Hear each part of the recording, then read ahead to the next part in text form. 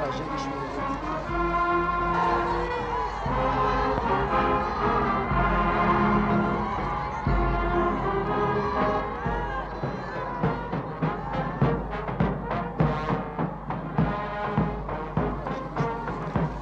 Majesté, l'inauguration de cette première pierre de maison commune et cette foule enthousiaste qui vous acclame euh, symbolise, je suppose, toute une politique qui est la vôtre, de progrès social, économique, de démocratisation dans l'attachement à la monarchie. Est-ce bien exact?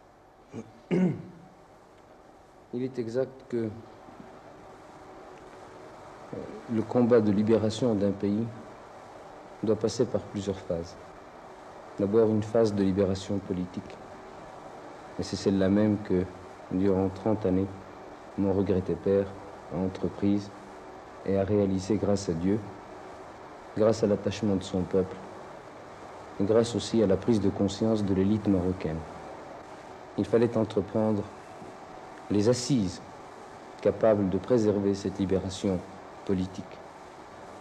Et ces assises ne peuvent pas être autre chose qu'un combat contre l'ignorance, contre le sous-développement, contre le sous-emploi, contre l'ignorance, contre le manque de cadres. Car étant un pays sous-développé, mais conscient de son sous-développement et voulant en sortir, il fallait absolument entreprendre cette libération. Quant à l'attachement à la monarchie, je ne puis personnellement, moi, que rester attaché à la saine monarchie. L'attachement à la monarchie, lui, doit venir de mon peuple. Grâce à Dieu, il a jusqu'ici témoigné à différentes occasions, à travers des siècles, et ces dernières années à travers des décades.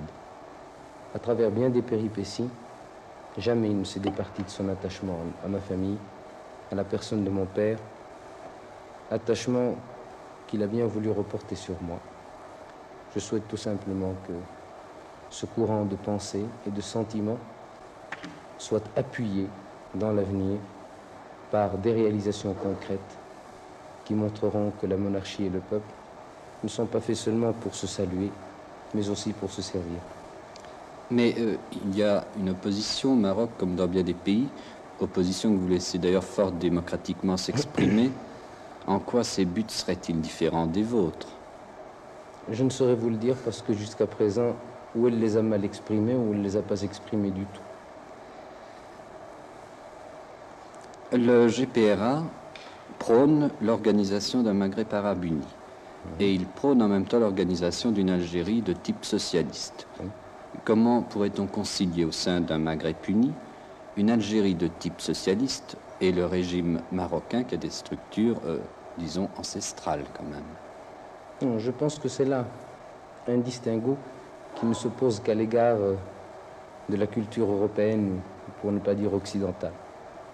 Euh, car ce Maghreb arabe uni aura comme assise bien générale l'islam, la religion musulmane. Et puis, euh, vous me parlez d'un régime socialiste. Actuellement, je pense qu'il ne faut plus parler de régime socialiste sur le plan politique si on ne parle pas de régime socialiste sur le plan économique. Or, à ce sujet, je ne pense pas qu'il y ait en Afrique plus socialiste que le Maroc, car au XXe siècle, un régime politique ne se distingue pas par sa, son étiquette parlementaire, bourgeois, de type traditionnel ou présidentiel. Il se caractérise surtout par ses assises, c'est-à-dire ses œuvres sociales et ses œuvres économiques. Et je ne pense pas qu'en cela, comme je vous le disais, le Maroc soit moins, moins socialiste que d'autres pays.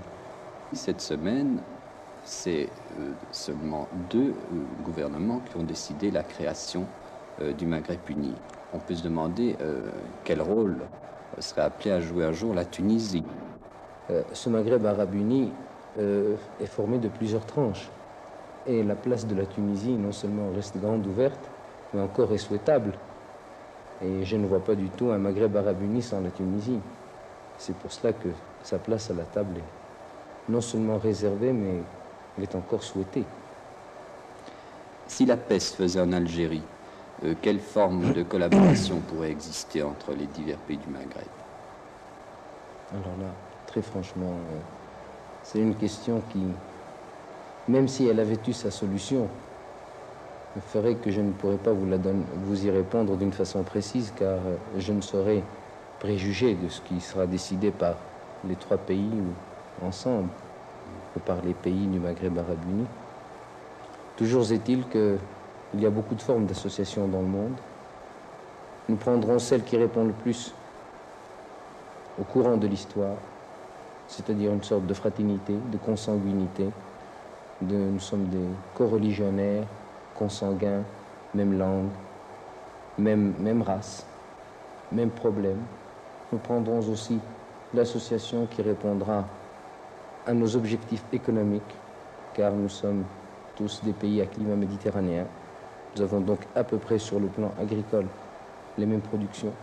Nous avons les mêmes marchés, les mêmes clients, donc les mêmes concurrences. Sur le plan du sous-sol, je pense qu'il y a une certaine complémentarité. Enfin, quant à l'énergie, je pense que le transport de l'énergie, le, transit même de cette énergie, le problème des ports, le problème de nos positions respectives sur le plan de la stratégie ou sur le plan de l'aéronautique, la, tout cela pèsera d'un très gros poids sur la forme que prendra notre association, qui laissera le côté politique de la chose, car euh, je ne vois pas l'un des trois pays essayant de tirer la couverture à soi. Cela n'est ni dans la nature saine des choses, ni de nature à préserver l'avenir, mais je pense que nous prendrons surtout des assises culturelles, économiques et sociales, et que nous laisserons le côté politique de côté.